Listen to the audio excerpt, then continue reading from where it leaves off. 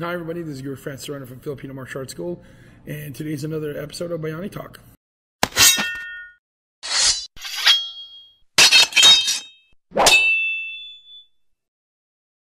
Hi, everybody. This is your Francis Serrano from Filipino Martial Arts School, and today's another episode of Bayani Talk. And today I'd like to talk about martial arts and ministry. Um, uh, many of you may or may not know that I currently am attending uh, Claremont School of Theology, a seminary school, uh, in pursuit of getting my master's in divinity. And um, and also, of course, many all of you know that I'm a martial arts instructor, been a practitioner for 20 years. And you know, some people always ask me you know, isn't that a conflict of interest, being a martial artist and being a, um, a minister at the same time? I don't think so. Um, and I've, and I've, I will refer to a video that I, I made a few, uh, a few months ago about, you know, turning the other cheek, but that's not what this video is about.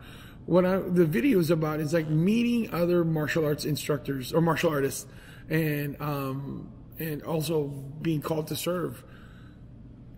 It's not that contradictory. It's, I don't think it's, it's contradictory at all I think that when uh, you know we assume that martial arts is nothing more than um, hurting people, being you know taking people down, but it's actually to me, and, and, I know a lot of my fellow martial artists agree with this. That martial arts is a way for us to maintain the peace.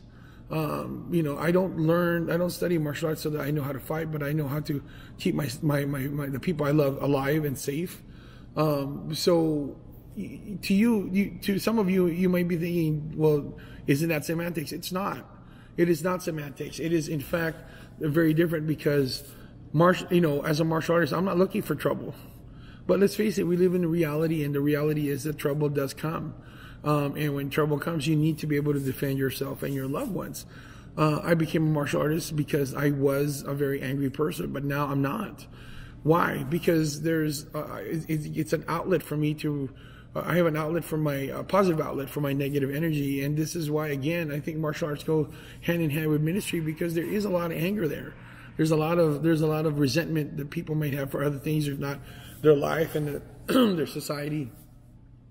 And martial arts is a way for them to be have a positive outlet about about their their life and their situation. So, in martial artists, we tend to be a little bit more, a lot more peaceful because of that because we are a lot more calm. We we are a lot more um, not easy to to uh, to snap because of that. But at the same time, it is also an awareness of yourself. It's an awareness of your body and your movement and what you can and you can't do.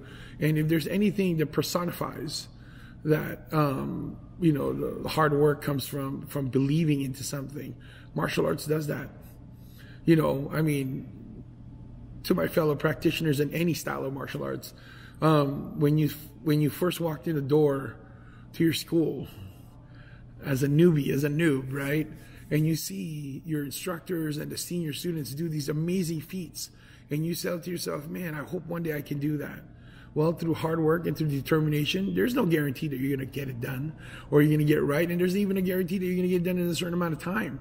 But you have faith that you're going to get it right. And then eventually you do get it right. And then eventually you can do the move and then you do more interesting moves and more elaborate moves because of that. That goes on. Faith is a strong component of, of, of martial arts. So does martial arts and ministry go hand in hand? I believe so.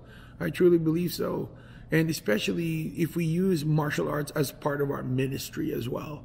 Um, I use martial arts as a way to connect to people. Um, I, I share my faith with all my students and the people around me as much as I can. I don't always do it, of course, but I do it as best as I can and as often as I can. And what's so amazing is that, you know, I'll have students that ask me about God, and you know, it just gives me an opportunity to kind of share the wisdom. I mean, the, excuse me, share the the love of God to them. And if I have, if I can do it, I'll totally do it. So, does martial arts and ministry go in hand in hand? Yes, I do. Do you agree? Do you think martial arts and ministry go hand in hand? If so, comment down below.